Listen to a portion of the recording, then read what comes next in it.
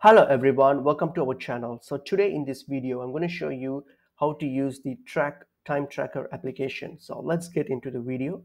So first of all, you need the Traqq desktop application in order to use the time tracker. So let's download the Traqq uh, desktop application first. So you can just simply go to Google and just type in download Traqq desktop. So that will that will give you the, the pop-up the first result there. So that's the official website. So just click on it okay go to the downloads page here. So click on the downloads tab and then here you will be straight uh, you'll be straight uh, for uh, directed to the uh, uh, the application download page. So you can so if you can click on the download for windows if you're using windows or mac go click on the second option download for mac if you're a mac user. So just click on it download and install the application. So once you have already installed the application what you have to do is you go to log into your account. So if you have not uh, if you have not if you don't have an account yet so you can just click on sign up because and it's it's pretty it's pretty free. So just click on just provide your email address and your work details and you should you should uh, create an account for free. So that's fine. So once you have done with that so all you have to do is just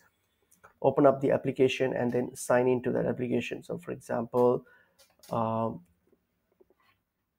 all right. So that's the app here. So just open up the application all right so once you so once you have already installed and uh, installed the application then it should it should uh, pop up this this uh, this notification here and also the tray. So once you have installed the application then you should see this option here. So this is the Traqq tray here. So if you click on the tray here you have the settings and then you have you can you have the option to start the timer and then view your activity or edit or do some editing and all those information in here. So so install the app and you will see this uh, this tray here on underneath underneath your taskbar here.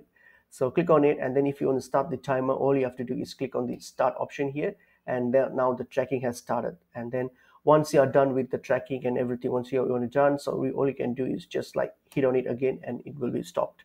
So if you want and, and the same thing and then if you want to see or view the activity or anything just click on the tray and then you have the options here to view the activity and everything. So and you can just go go go uh, click on it and then check into it. So that's pretty much it. Is it's pretty easy to use and it's very handy as well.